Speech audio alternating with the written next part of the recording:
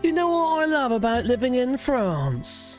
It's not just the rolling hills, the trees, and long dog walks, and occasional conversation in franglais. It's the wine that hasn't been tainted by Rishi Sunak and his latest set of rules. What on earth is that man thinking? There's something seriously wrong with his head to mess with our wine. Yes, it is true. They just made an announcement. I kid you not. We are scrapping, more like scraping the bottom of the barrel, outdated and burdensome rules so that our wineries, vineyards, and traders can continue to innovate, literally innovate, to help grow our economy. Except you won't be able to export any more to the EU. They're changing the definition of what wine actually is. Seriously. And they're also. Oh, God. They're. Okay, let me, let me get some straight, all right? In the EU, right, wine has to be made from fruit juice, like grape juice, and sugar. Sometimes might be a little bit more, but generally it's fruit juice and sugar. That ferment, ferment, fermentation process because you've added some yeast. Not that kind of yeast. No, you get some Canesten for that. No, um, for the fermentation process. That's just wine. And how much sugar you put in it, yeah, or how much, uh, well, how sugary your grapes are, will depend on how strong your wine is. How much alcohol you'll have in your wine.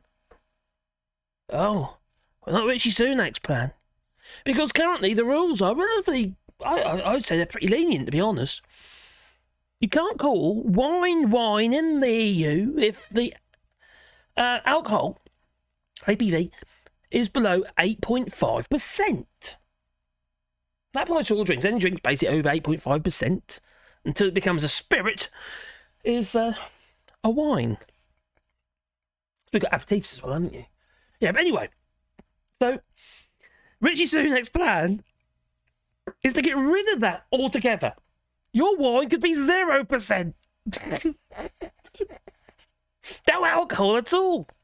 And they'll still call it wine. Oh, because oh, that is, that is, what the hell are they thinking? And let's have a look over. How much wine do we drink, though? Oh, how much wine do we actually make? Because uh, bottles of wine. We do about 12 million bottles of wine a year. That's how many bottles of wine that we produced. So the tiny amount, the market, tiny incy wincy amount of wine that we produce in the United Kingdom amounts to about one day's worth of consumption. Oh my Gideon! Why the hell are they even bothering? Is it just so they can wave a little flag and say, well, see, it's one of the benefits of Brexit? Hmm? We got rid of an EU law. Maybe it's to keep the older uh, Doff Cat Forlock, Jacob Rees Mogg happy. Maybe. But 0% ABV wine? What's the point? Why don't you just get a carton of fruit juice? Oh, well, This is how much wine is consumed in the UK. Let me just freshen up that camera again. Look, it's gone silly, look. Oh dear, I'm not moving. Why am I moving? Oh, now I've gone. And now I've come back. There I am. I do apologise. My camera just had a hissy fit. Well, anyway, I'm not going to edit the video, so it's tough tea. anyway, as you can see in this pie graph here. Now, France drinks, this is of the global wine consumption, yeah? 10.7% of the wine consumed, they're a major wine producer. The US is worse, it's 14%. Italy is uh, 10.3%. And uh, Germany is 8.4 and the UK is 5.7% because it's too darn expensive. Now, I went to, uh, well, a motocross last weekend. You probably already know because if you watched my video. Well, you, you could buy a, a beer for three euros or a glass of wine for a euro proper glass, yeah, a, a, full glass like that of wine. Well, what glass? It was, yeah, it was a cup, but, but the same sort of same amount. That's how cheap wine is in France, you see, because they don't tax it as much as the UK. currently, I did write it down actually somewhere. I can't remember where I wrote it down, but there we go. It used to be, um, we had the biggest tax hike in uh, wine in the UK per bottle. It used to be two uh, pounds twenty three for every bottle of wine that's sold in UK. That's how much tax is on the bottle. Now it's gone up to two pounds sixty eight plus VAT. Honest, yeah, it's nuts. No wonder we're having to bring down, uh, well, the alcohol, because that's what the tax is based on. There's about 27 different types of taxation. It's just nuts on wine. Well, you see, what it is, you see. They're bringing out this new wine, yeah, sludge wine, made from the pomace. The pomace is like basically, you know when they uh, you crush your grapes. So yeah, you're doing your thing, you're crushing your grapes. What your feet? Okay, commercially, it's not done that way. I know, but I'm going to say you're using your, you're crushing the grapes with your feet, and your verrucas fall off, occasional toenail. Maybe you've got a yeast infection in your toes, you know, like an athlete's foot or something like that. It's all going into the old uh, mash. So a mash or wort with the wine? I can't remember now. Uh, or was it a wash? Oh, well, I can't remember. Anyway, you um, you're treading it all in, all the bits of your body are falling off into it, you see. All that stuff, and all the juice is coming off, you see. It goes off into, you know, through a little snout into a barrel or whatever, ready to be fermented. Not now. No, that stuff still happens, yeah. But all the stuff that's left in there that you've been treading with your feet can now be made into wine. Again. The sludge. Now, that's all very well, because there are some drinks actually, there's a brandy, can't remember what it's called now. Uh, but there's a, there's a brandy, uh, Italian brandy, I think, which is made with this stuff. Dapper, Chapper, Stapper, or something. Anyways, it's, it's, it's Italian brandy. And the problem with it is, from that it's pretty gross, is that it's full of tannins. Because in the skins, you see, all the tannins are in the skins and the seeds. And, yeah. And that's the stuff that gives you a blind and headache. so your government Oh, Rishi Sunak wants to give everyone a headache. He's already doing that on his own. He doesn't need to do this. He's just going to have a blinding headache because all the tannins in your wine, in your cheap wine. So this is a way to avoid the actual taxation. Obviously, bring the, you know, the, the yeah, alcohol levels down as well. But using this old sludge, this sludge you see used to go uh, in the EU. It would be used fertilizers and stuff. It contains a lot of nutrients nitrogen and stuff in it. So it gets used in fertilizers, but also it can be used in some food production. But it's going through another process. You're not eating the, the bits of wood, the stick, you know, the sticks, the seeds, and the and the skins, the pulp. What's left, the dry pulp. But like that, Rishi Sunak's plan is for you to, uh, well, drink it. Oh, get the yarn. See, normally the wine making product, uh, byproduct is known as a uh, grape marc, aha, and consists of um, the pulp, the skin, the seed, that is left over after pressing, and making 750 millilitres of wine, standard size bottle around 1.17 uh, kilos of grapes, and about 20% of which is made up of this so called waste product. And now it's going to be made back into wine. And I kid you not, if I go into this BBC article here, right, okay, here's the Gov page showing all the thing, all the changes. But let's go for the BBC one first. So, wine by definition to be watered down in post Brexit move. Uh, under the rules, the UK inherited from the EU when they were rolled over.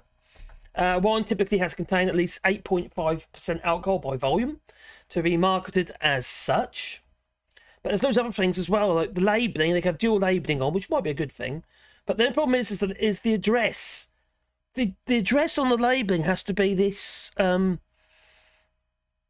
the actual supplier, not the importer. Well, how are we going to know the origins of the stuff? You know?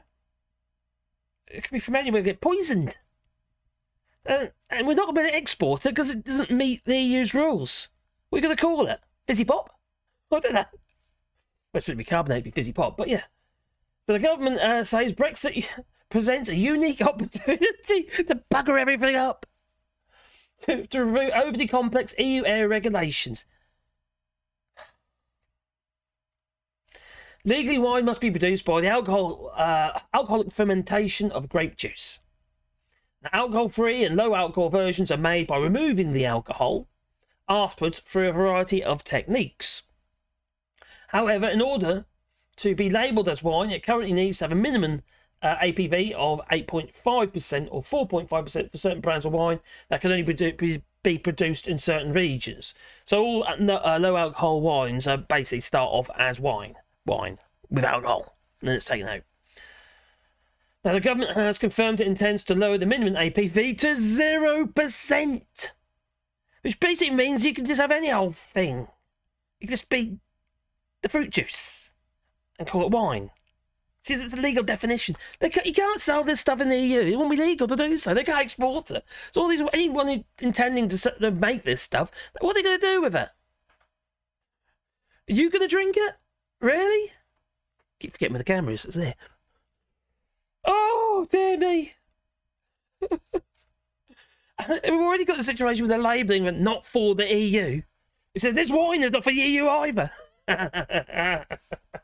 Oh, crikey. What poor old Liz Truss with all the selling apples and stuff like that. There'd been all the wine. Wouldn't it be all the wine? Oh, we're going to sell shitloads of wine to France, what have you. She'll say something like this now, I suppose. That is a disgrace. More than likely. Oh, this is getting painful. It's getting just abs. Uh, uh, they're destroying the country absolutely breaking everything. Is this government? Where's that little disc? Oh, there it is. Look. Okay. Uh, what time we got? We've got 11 minutes. Well, it is 11 minutes, sorry. Uh, Im- so import labelling is going to change regarding the addresses and what have you. Hybrid grape varieties. Piquette, which is like a low alcohol um, fermented drink. So you can't call it a wine because, well, anyway, because it, this stuff is when it's fermented, it's under 8.5%. Blending wines, foil wraps, and mushroom stoppers. Oh my giddy they're not getting rid of the mushroom stopper, are they? Think I did hear that somewhere. Well, the mushroom stopper is the one they put in champagne and sparkling wine, and in some ciders. The reason why is because it's more carbonated, and the, the mushroom cork behaves like a dovetail inside the bottle. Yeah, no, don't get it wrong. Idea. Inside the bottle, and it holds itself in the bottle, it swells up inside the bottle. Until you stop rising it off, it won't, it, it won't explode. oh, God's sake. Um, wine certification arrangements, bottle shapes. Yes, we have any old shape of bottle now. It could be like a naked lady. Oh, lovely. Why would people care? They just want to drink the wine. It gives people opportunity to collect bottles. Oh, and also, what about the transportation of these bottles? They're going to take more space up. Methods of analysis and controls on enrichment, ice wine, approved oh, winemaking processes, and uh, I can't say that oenological um, winemaking processes and methods of recognizing and recording these and transforming wine sector products in Great Britain.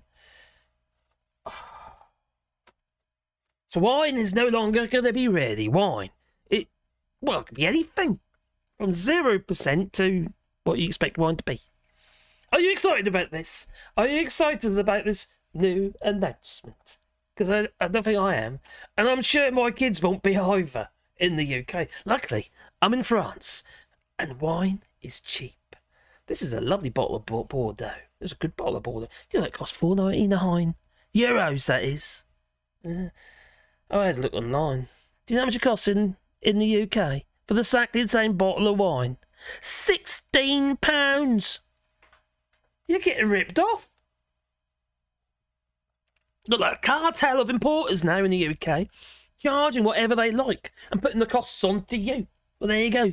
What say you? Please leave it in the comments down below. And please boot the old like button because it helps the channel, you know.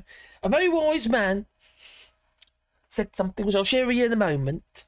But first, if you want to support the channel, you do that on Patreon or you buy us a coffee. And also there's some, well, you've got memberships, and other stuff. Anyway, links are down below. But also, we're, we're planting trees here in France. We're planting a thousand trees on two hectares of land for the little animals and oxygen. it's a rewilding project. Anyway, we're planting trees, and but every tree we plant, we'll put Simon the tree with your name on, or maybe a memory of a loved one, what have you. So, anyway, links down below. anyway, I think it's time for me to go, but I'm going to leave you with this. Very once wise man once said. Oh, I wonder what he said. Oh, he said, uh, where is it? There it is. This. By the way, I've been wondering Ta-ta. what that special place in hell looks like for those who promoted Brexit without even a sketch of a plan how to carry it safely. Thank you.